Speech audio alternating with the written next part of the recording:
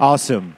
Uh, I do hope that you guys will stick around uh, so that we can get a chance to build community with you, get a chance to get to know you, uh, and connect with you.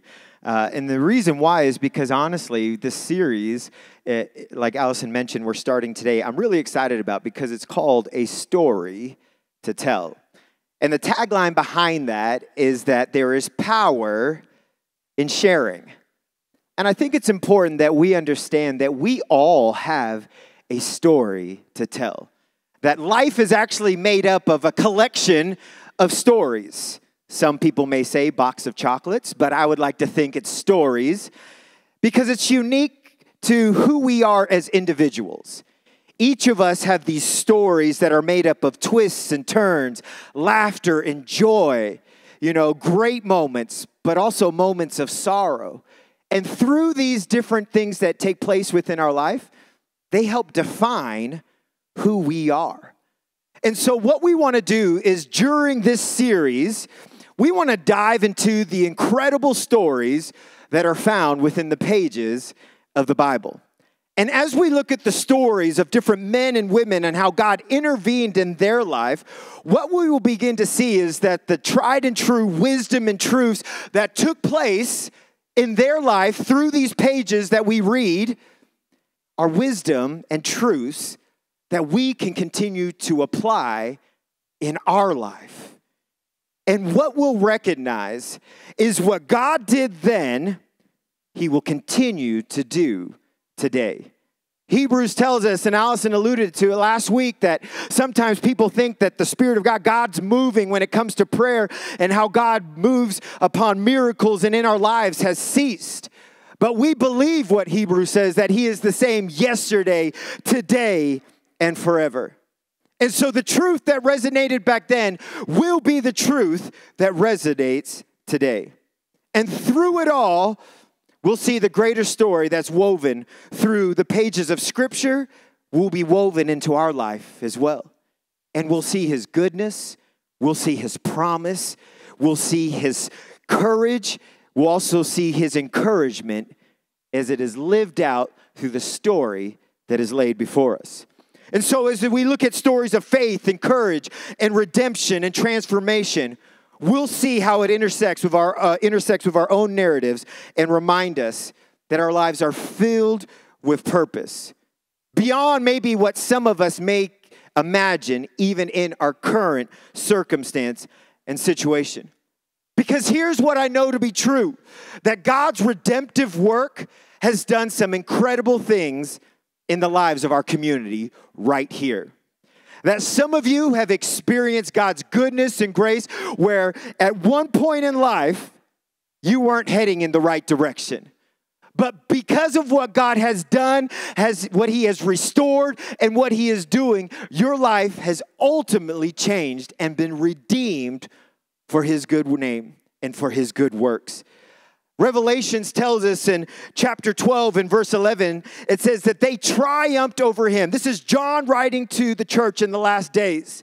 And it says they triumphed over him, meaning Satan, by the blood of the Lamb and by the word of their testimony. The stories that we have and that we have the ability to share, they do matter. And this series is going to be about Jesus and what he has done in our lives and the important thing that we need to understand is that we all have a story to tell. If we have been redeemed in Christ, you have a story to tell. And sometimes we feel like, well, our story might not mean much, or I don't feel like it, it's got this big redemptive, you know, story. Well, if you were living one way and you accepted Christ, we have to realize that our life has totally changed and there is a new future in that. And that is a story to share. And I want to just give just real quickly just a few reasons why it's important that we share our story. Number one, it gives glory to God. When we share our story, when we talk about it, it gives glory to what God has done within our life. First Corinthians tells us this whether you eat or drink or whatever you do, do it all for the glory of God. And when we proclaim what He's done in our life. It gives glory to what God has done and will continue to do in and through you. Another reason why it's important that we share our story is that it grows, um, our faith grows in God and in His Word. It grows our faith when we share stories of transformation, of redemption, of healing, of, of recovery of addiction. It, it changes and it grows who we are in our life. Romans tells us that faith comes by hearing and hearing the word of God. So when we proclaim what God has done, it grows our faith. It also grows the faith of others. When we hear it, all of a sudden we're encouraged that we know that God can do something, that God still does move. And so when we tell our story, people can be encouraged through it. Also, when we share our story, it gives other believers the courage to share their story. It reminds them that, hey, I've got a story to share. I've got a story to tell that could maybe help someone, that could, that could remind them that God loves them, that God sees them, that God has a purpose with them. And then when we share, it encourages them to say, you know what, this needs to be told because there's lives that need to be changed through the story of what God has done within my life. Another reason why we tell these stories is it keeps us accountable. When we talk about what he's done, it keeps us accountable to living the way that we're proclaiming that what God has done in our life is true and that we are redeemed and that we are changed through what he has done within our life. Again, it also reveals the power of God. It reveals his power within your life of what he has done. And lastly, the reason why we need to tell our stories, it dispels the darkness of the enemy. Because this is a spiritual warfare. But yet, when we proclaim and we share what God is doing, it pushes back the enemy. Again, Revelation says we overcome by the blood of the Lamb, but also by the word of what we share in our testimony. We all have a story to tell, and that's why there is power in sharing. And if you are a children of God, you've got a story, and it's powerful because we were all headed for death at one point, spiritually. But because of his redemptive power, we live again.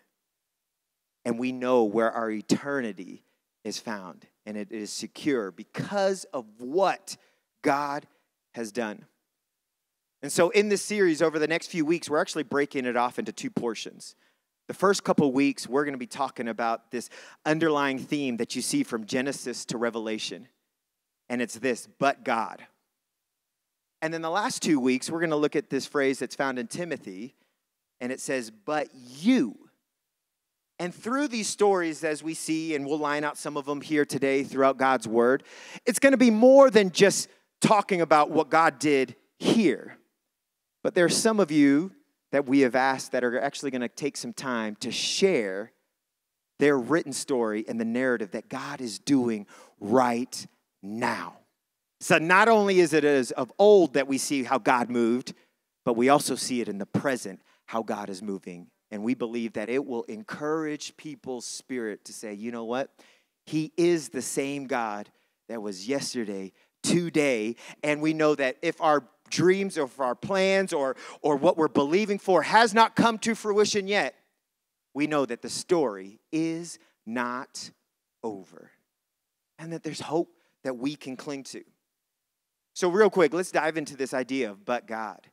You know, it's probably the most two powerful words that you could find in Scripture, but God. You know, I'm, I'm no English major. That wasn't my, uh, you know, it wasn't my first language. I'm Samoan. Now, some of you guys are shocked that I just said that because I don't think I've declared that very often. Some of you guys, I, you're not Samoan. Uh, I'm Samoan, and so English is not my first language, uh, but I don't speak Samoan either. So I don't even know what my first language is. but in all honesty, English was not my favorite subject in uh, school, but I do know that word but is a conjunction word. And what it does is it ties like two clauses and, and, sentences together. And I know there's different conjunction words like and, if, nor, or. But that conjunction word of but is it's a pretty impactful one. Because when you use that in a sentence, when it brings things together, what happens is it ultimately sometimes, most often, negates what was previously stated. Like if I say the phrase, like, uh, man, they're a really good person, but Like all of a sudden now, you don't really have the confidence in full, complete trustworthy because of that word, but. Am I right? Or, or maybe if you look at this one, like, I like that idea, but let's be real. We're not going with that idea. Like, because of that word, but, you're like, there's no confidence I have in that word, but. And oftentimes, what happens is that we try to, you know, be tactful in our conversations, in our response. And so we usually offer some sort of encouragement first, like, I, I really like you, but I just don't think this is going to work out. Like, what do you focus on? We don't ever focus on the I really like you part. Yeah, I'm really like, no. What happens is you focus on the after what came after the conjunction word of but. And so you, you focus on the, this isn't going to work out, and your life is totally changed. And, but here's the thing that I've referenced and we see here in God's word what is predicated in these stories when there is a but God ultimately changes. That but there changes the direction. I was going one way. I was doing one thing. I was hopeless. I was dis- full of despair and depression and anxiety, and I was tormented. But God, now all of a sudden, that changes the narrative of everything that was going on. And to the left of the but God was heartache and pain. But to the right of the but God, there is hope, there is future, there is life, and there is light. Over 45 times throughout Genesis through Revelation, there's a reference to a but God. And I think that gives us hope to know that within our story, we could have been heading one way, but God did something in and through your life, and now your life is totally changed. Is there anyone here today that would attest that God did something in your life? That there was a but God moment where your life was heading for torment, your life was headed for ruin? But by the grace of God, your life is changed and it has been renewed. And yet, He redeems not only you, but honestly, He wants to redeem your story as well. That your story can be used for His glory. That your story can help open people's eyes to understand that their story does not have to be over, that there is hope, there can be a future, there can be peace that can come into someone's life. Despite the hard and difficult things of life, they know that there is a firm foundation that they can place their feet uh, upon. Every time we see this, but God, it's good news. It's course correction in our lives. To the left, appeared as some of the worst situations, whether it be characterized by rebellion, whether it be disobedience, or things just beyond our control. But to the right of it, there is a hope. And that hope is found in Jesus. And He wants to redeem our stories, not again just for Him, but so that it can be used to bring glory to his name, to encourage others that could use some encouragement. What we've realized that even in ministry over the last couple decades, Alice and I have been in, man, life's hard. And I don't think you have to be in ministry to know that. Man, life is hard. There are challenging things that you will encounter in this life. And these stories of not only what happen within the narrative of the pages of the Bible can give hope. But your story of coming through whatever you went through can also be a place that encourages people to hold on to hope. Because everything in life will tell you to give up, throw in the towel, it's not worth it. There's no need to put your faith in Jesus. But we're here to tell you that your story does matter and it makes a difference the but God moments change what was written previously to what will be written afterwards. You know, just, just a couple references within the Bible. Genesis chapter 20, verse 3. It's the story of Abraham and Sarah. They're coming into a nation. and it was King Abimelech there. And he tells Sarah, he goes, Sarah, don't, don't tell him that you're my wife, because what they're going to do is they're going to kill me. Tell him you're my sister. And so what happens is so he's trying to save his own life, you know, and their family. So what he tells him is like, hey, hey, what's going to happen is this is going to happen. So then Abimelech's like, oh, that's your sister? Well, I want you to be a part of my harem. And this is what it says in, in Genesis chapter 20 and verse 3. Abimelech had taken Sarah into his harem, but God protected her from him. That but God brought in a protection over Sarah and Abraham and that family. There are but God moments that will bring protection into your life where it was heading one way, but God will protect, He will provide, He'll bring exactly what is needed in the moment. You know, many of us are familiar maybe with one of the most uh, but God moments in Genesis chapter 50 and verse 20 in Joseph's story. And we'll probably dive into that over the, in the next few weeks, but you see Joseph's story and he faced setback after setback, even though he was integrous and he was doing everything that he knew that he was to do. And so at the end of his life, his brothers are there. And Genesis chapter 50 and verse 20 says, The brothers intended evil against Joseph, but God purposed it for good. There are many of us that that verse could be very true of our life. Man, you've walked through some challenging things and difficult things.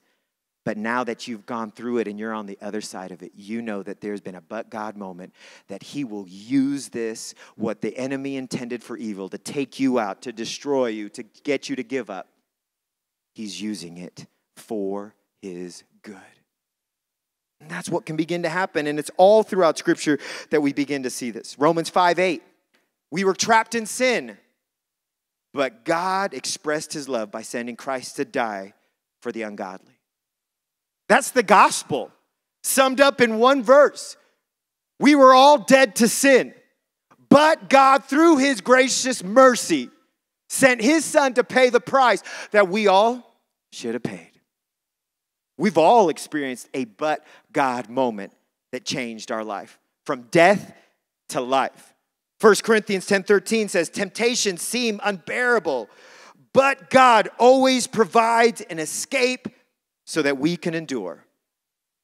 1 Thessalonians 4:14 When Christians die, we grieve. I know people in here have experienced loss in your life, loss of a loved one, loss of some of you are grieving. But this promise says here when Christians die, we grieve. But God promises, if they are found new in Christ, to resurrect them through Christ. So even in the midst of our pain, there's hope that God continues to give us. These two words have an impactful ability to change the narrative of our story. And like I mentioned, the series, though, is not just about the stories in the Bible, but it's also about the stories that are being written right here in our midst. Today, we want to talk about a couple gentlemen that are overcomers, that have overcome some difficult situations in their life. These gentlemen have overcome addictions that plagued their life for quite some time. And this is the verse I think we stand upon when we look at this idea of what they're proclaiming. It's 2 Timothy 4:17. It says, "But the Lord, but God, stood with me, strengthened me, so that the proclamation might be fully made through all the Gentiles, so that all the Gentiles may hear.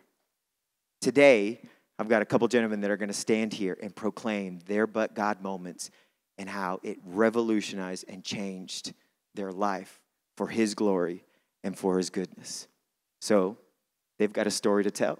So, if you guys will help me welcome Sean Chavez and Nathan Archibald to the stage.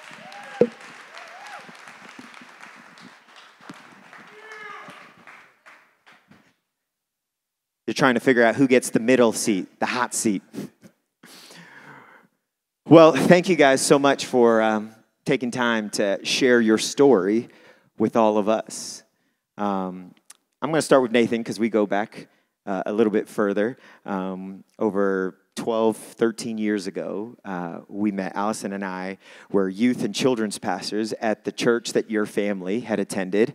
Um, you were a teenager at that time, but we didn't really quite have much interaction because um, those were some dark days for you. And so, would you just kind of let the church know, our church family, just kind of share what those days really looked like for you uh, when it came to addiction and the things that you were wrestling with at that time? Absolutely. Morning, church.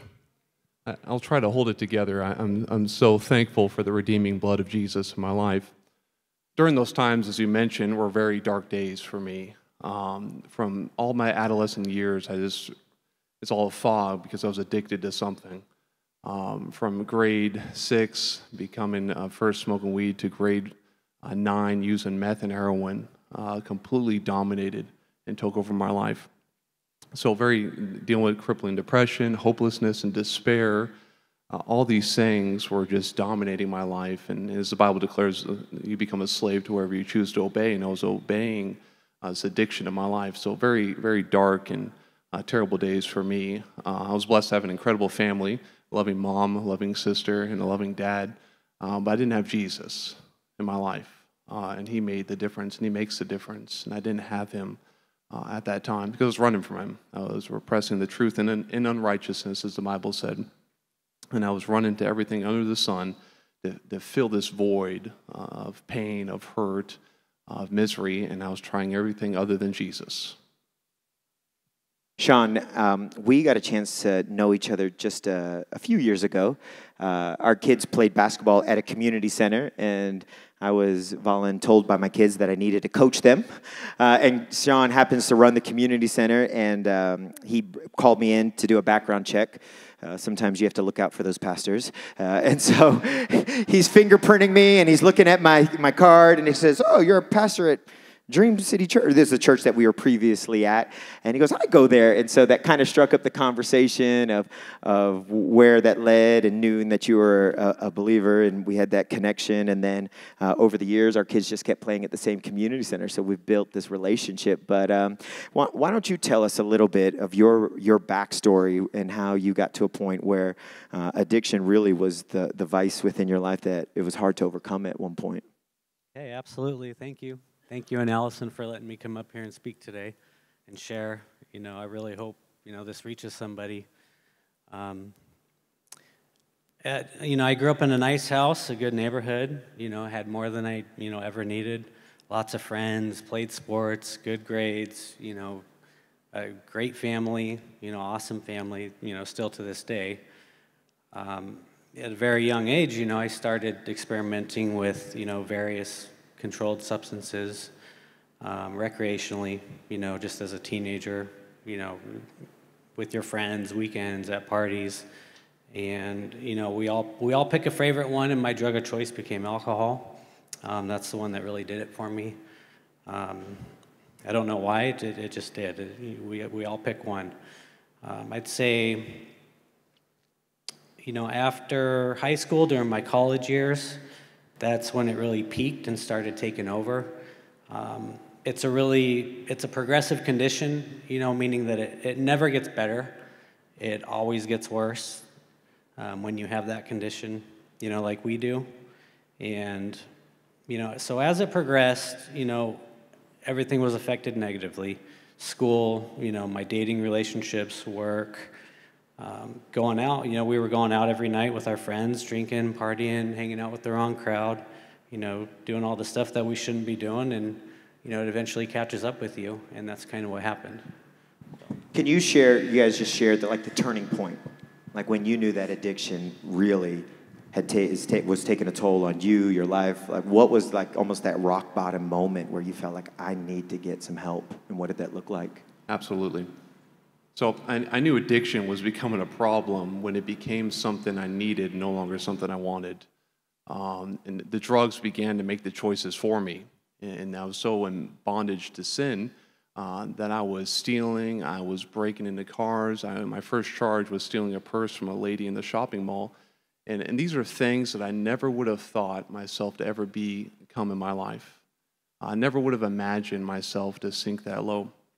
And I'm reminded of a quote that says, Sin will take you farther than you want to go, keep you longer than you want to stay, and cost you more than you're willing to pay. Uh, drugs did that to me. Uh, they really did. They, they took me to a place where I never thought I would go.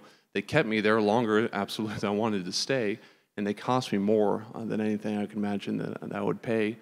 Um, and, and I know the, the turning point, that, that last moment where I knew I really needed help, was my family was so loving and kind to let me, you know, kind of try to get off heroin. And when you're addicted to heroin and you're withdrawing, uh, the physical effect is miserable. It is insane. It's just that you are just so crippled by the addiction that, it, that the physical need, I mean, your legs don't even work. You can't really even move. Uh, it's incredible. My family was trying to host me and help me through that process. And unfortunately, it was Mother's Day. My mom got gifts for Mother's Day, and then just this addiction. I mean, so enslaved to it that, that I got what she got from Mother's Day and went and pawned it and went and got drugs. Uh, and I, I, was so ashamed of that, and, and, still obviously very ashamed of those things. Thank you for the cross that um, sin has been covered and paid for, and my conscience is clear. But, but I was, the, the, the feeling of gr- guilt that I experienced uh, brought me to my knees and then just uh, desire for change. And I, I text my mom, I was like, I need help. That's all I said.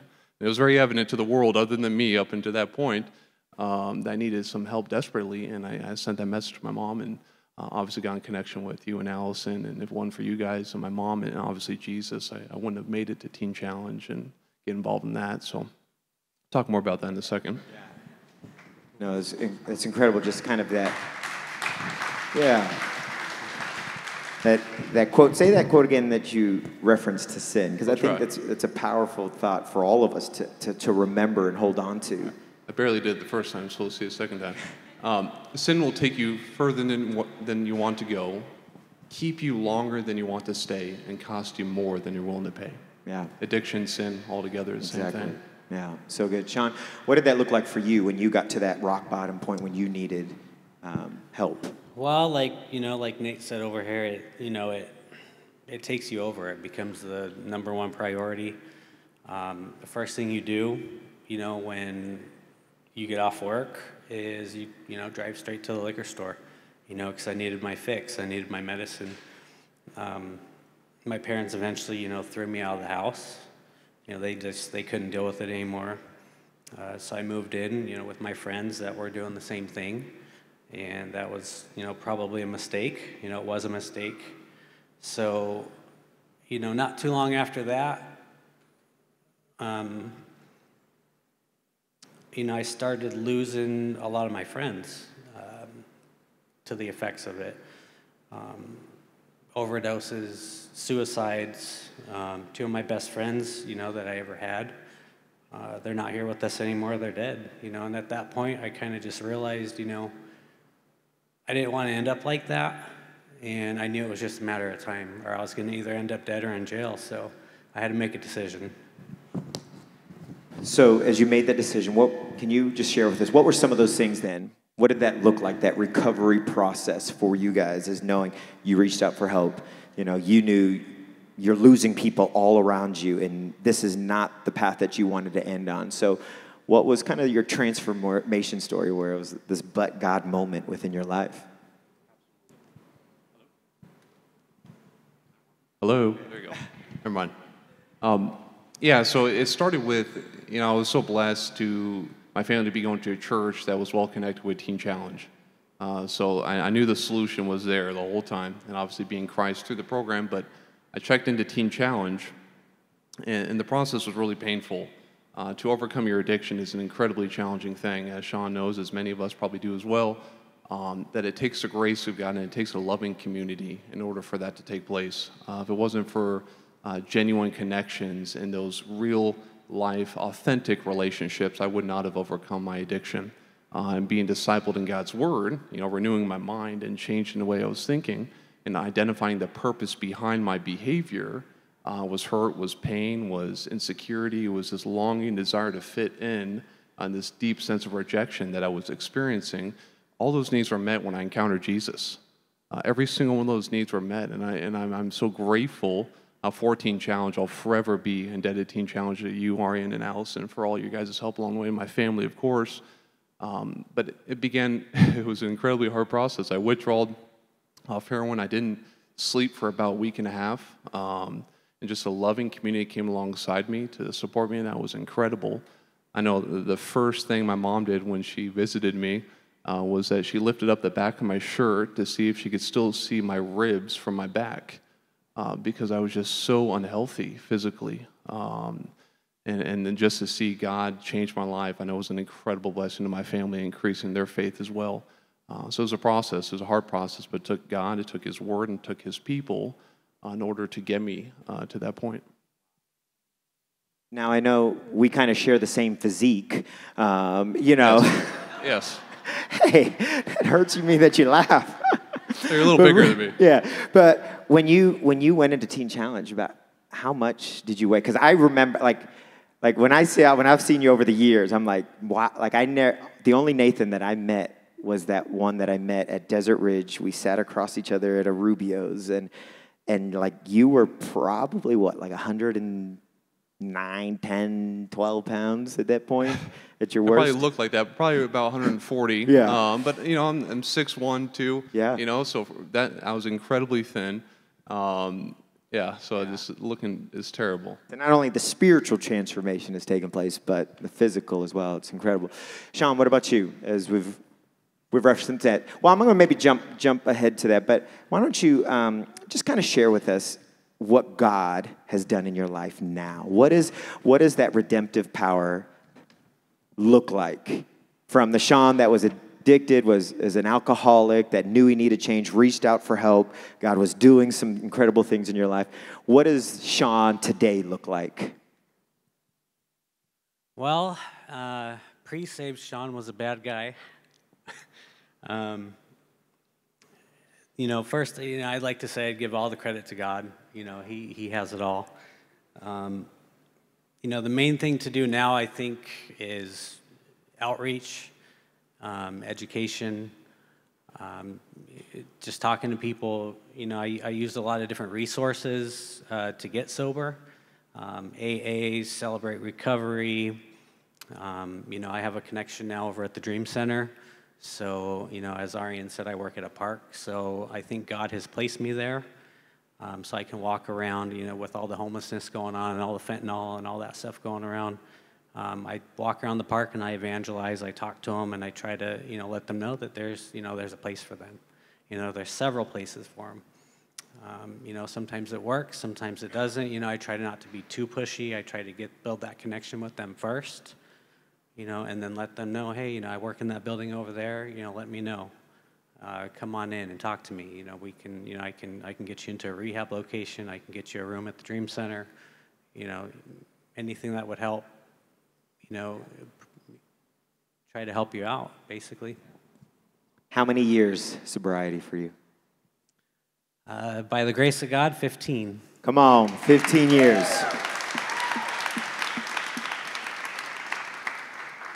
From a life that could have ended, but experienced that he knew he needed help and restoration.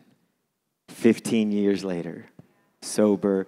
And I've seen him evangelize. Like, it's a rough part, like this community center. And like, he'll mention, he's like, I, I walked in a couple of weeks ago when we were playing basketball. He's like, well, there was another one that was here that was strung out laying at the doors, and I had to, like, people, he had to step over him to help kind of open the door. But he said, I, I was reaching out to him, trying to get him the help that he need. Because he goes, the days are short. And I know that God has put on my heart that I've got to do all that I can to reach people. And I've been only, I've only seen just great things from Sean and his heart to evangelize and reach people that were at a place of hopelessness to try to give them hope. And so, Sean, it was incredible, just incredible. I'm just thankful for you and sharing your story. Nathan, tell us, tell us, it's, it's been a while. So since you're at that place where you're at, what's God doing in and through you? What has he done? What does life look like right now? Absolutely. So I went to Teen Challenge 2013. Uh, I encountered Living Christ week after the program. I went in the chapel, uh, depressed, suicidal. I left the chapel, born again Christian, uh, Christ follower. I realized I didn't come to Teen Challenge seeking a relationship with God. I came to Teen Challenge because God was seeking a relationship with me, uh, and He set me free, delivered me, and He put a purpose in my heart uh, to serve and to love uh, others and to inspire hope in the lives of others. So I went through the process of Teen Challenge. I completed the program, became an intern, worked various positions there, and now I'm the supervisor. Uh, and I'm able to lead, I'm able to lay down my life, I'm able to uh, minister and be an example, and ultimately point people to the cross because it really is all about the gospel of Jesus Christ, and that is what saved me, and that's what saves other people. So I'm able to, as a good shepherd does, to lay down his life uh, for others and minister, be an example, and help other people come off their addiction. And Teen Challenge, that's what it is, is a faith-based solution to the drug and alcohol epidemic and any life-controlling issue. Uh, we just love them. Uh, we, we, point them to the Word, we point them to the cross, and we disciple them. It's an intense ministry, uh, and Sean understands so the nature of what he deals with is similar to what we deal with. Um, but the results are incredible. Seeing lives changed and encounter God and their lives being set free and delivered, there's really nothing greater than that. Uh, that's what life's all about. So that's what I'm doing today, uh, becoming uh, credentials as pastor here really soon. Uh, and I'm just thankful that I can, I can proclaim the excellencies of the one who's called me out of the darkness into his marvelous light. And that's all I do. Come on. Can we just put our hands together for these gentlemen? Incredible stories. They truly have a story to tell of what God did in their life. And just knowing Nathan's story, you know, firsthand and seeing him in leadership at Teen Challenge, you've probably seen hundreds of guys come through that program. Some, some don't make it, but you've been there to help them through it, to, to give them the resources, the options, to pray, to believe with them. And then there's hundreds that have made it that have ultimately changed their life because of the encouragement, the support, the support, but ultimately because of the testimony that you're living out of what God has done in your life. Um, man, we're so incredibly proud of both of you guys, and thank you. I know it's never easy just getting up and just sharing your story, but that's something that you felt like God has put on your heart that people need to know because there is power in sharing. And so, one more time, church, can we just let these guys know how much we love them? We're thankful for them. Thank you.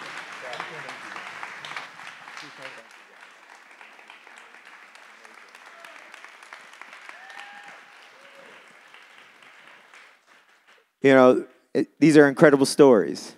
You guys can be seated. We're not gonna, well, we're not going to be too much longer. I'm going to. But, you know, there's some of you in here that you've heard stories, and, and like I said, it's encouraged your faith to be like, man, I've got a story to tell. And God's done a great redemptive work within my life. But maybe there's some of you in here that you haven't overcome yet, whatever that vice might be in your life whether it be a substance, alcohol, whether it be, you know, drugs, whether it be pornography, whatever it be just whatever it is that has held you back. Today, there's stories of hope, of but God moments where their life was going in one direction towards destruction. But yet, this conjunction word of the word but changes everything so that you can live out the purpose that ultimately He set before you to live out. And we would want to pray for you. There's some of you that could use some prayer that says, man, and I'm going to ask these guys, along with our prayer team here in a minute, just to stand up here. And if there's someone in here that says, man, I just, I need help. Because really, that's where it starts, is admitting that I need help we have some incredible resources to be able to help supply you with. And if there are any of you out here that says, "Man, Arian, I just, I just need some help," um, we have an email address that will go up on the screen, and you can email us, and, and and Allison and I will reach out, and we'll supply you with different resources. Sean, as he mentioned, you know, with AA or Celebrate Recovery. I know with Nathan with Teen Challenge, there's different resources and ministries that we partner with that can bring help. There may be some of you in here that you would actually like some prayer because maybe you know someone. You know someone that is heavily addicted and is being overcome by these things. And maybe you want to pray that they would be overcomers. And so we would love with our prayer team just to couple our faith along with yours to believe for breakthrough, believe for that to take place within their life. Just like Nathan mentioned, and even Sean, they had good families families that we're praying for them to experience their breakthrough. We want to come alongside you because we know sometimes it can be weary and just like, oh, I just don't know if they'll ever get through. I don't know if they'll ever. We want to stand with you. We want to agree with you that we believe that the breakthrough can happen, that the story is not over, and that we serve a God that hears our prayers, and that we believe that He can and will intervene in their situation. And so we want to pray with you for that as well. And so I'm going to just have us all stand to our feet. And as we get ready to pray, and again, the reminder is, but God can do some incredible things. We were going left, it was difficult. But the grace of God is powerful, merciful, good, loving, and kind. Some of you in here, you've just been overcome, just life's difficulties. And maybe there isn't a full blown addiction, but maybe there's just a, a, hardness of just really leaning into what God can do in your life. And so, as I pray, I'm going to have our prayer team come forward, and we want to pray for you, and we want to believe for you.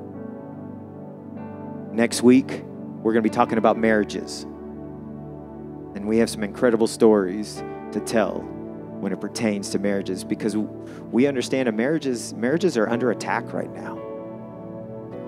And so we want to share some incredible stories of but God moments where things look this way before the but God moment, but after the but God moment, man, God is doing incredible things, and it can be true of your marriage as well.